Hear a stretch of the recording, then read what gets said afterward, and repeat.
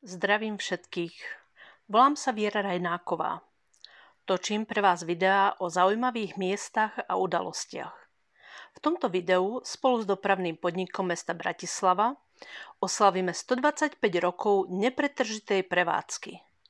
Nezabudnite, že ak sa vám video páčilo, dať odber a like. Dopravný podnik v Bratislave vznikol v roku 1895 a jeho prvým riaditeľom bol Karol Kakulaj. Prvý názov podniku bol Požoň Vároši Vilámoš Vašút, skratka PVVV, alebo v predklade Bratislavská mestská elektrická železnica, BMEŽ. Od roku 1922 sa premenovala na Bratislavskú elektrickú účastinnú spoločnosť BEUS. BEUS. Od toho je odvodené pomenovanie pracovníkov dopravného podniku, ktoré vydržalo až dodnes. BEUSáci.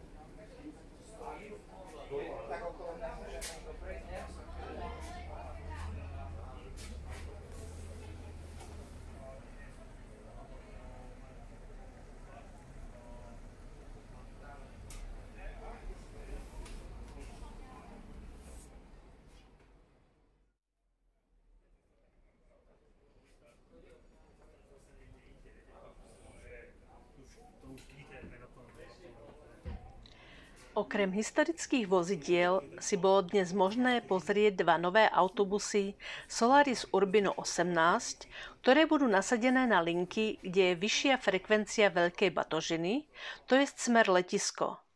Čo bežného cestujúceho zaujme v prvom rade, tak kovové police pripomínajúce poschodovú postel. Sú to police na kufre a veľkú batožinu. Okrem toho tieto autobusy majú koženkové, veľmi príjemné sedadlá, farebne odlíšené podľa rôznych typov cestujúcich, viacero USB zásobiek, klimatizáciu a kamery a veľa iných vychytávok.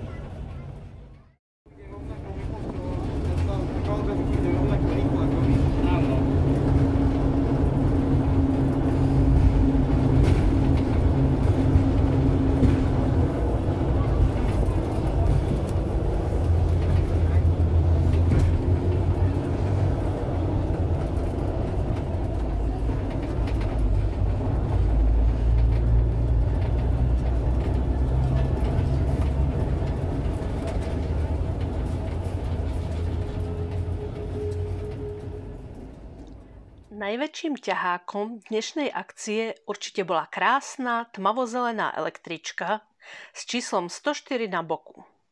Bola vyrobená v roku 1910 firmou Gans v Budapešti. Zo začiatku to bol vagón bez motora, ktorý bol zapriahnutý do špeciálnych vlakov. Tieto vlaky vozili robotníkov do dynamitky – Vzhľadom na to, že potrebovali odviesť veľké množstvo ľudí, tak za električku zapriahli tri vozne. Takýto vlak mal dĺžku až 42 metrov. Veľmi zle sa s ňou jazdilo, pretože súprava bola ťažká. Preto tento vlak vybavili špeciálnym kompresorom, ktorý pri brzdení fúčal. Kvôli tomu dostal od pracovníkov prezývku fúkač. Pôvodne mal vozeň podkladovú farbu krásne žltú, no po stranách sú ako šperk v zlatom rámiku tmavočervené purpurové polia, v strede ktorých je vznešený zlatou farbou vyhotovený erb mesta. Vpredu a vzadu na vozňoch vidno namaľované štyri písmená. PVVV.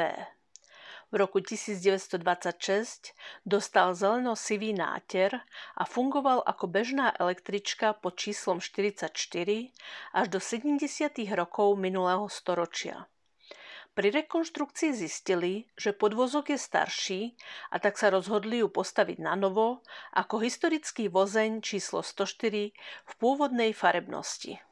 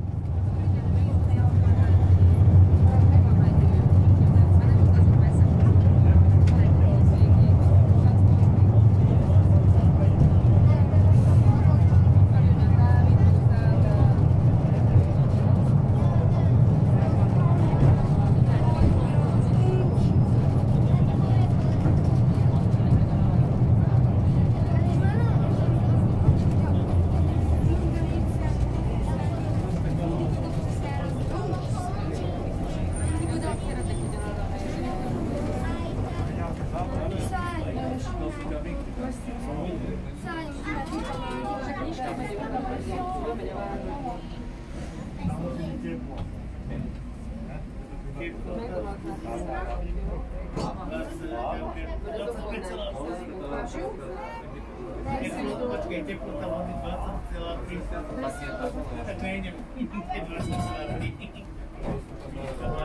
Thank you.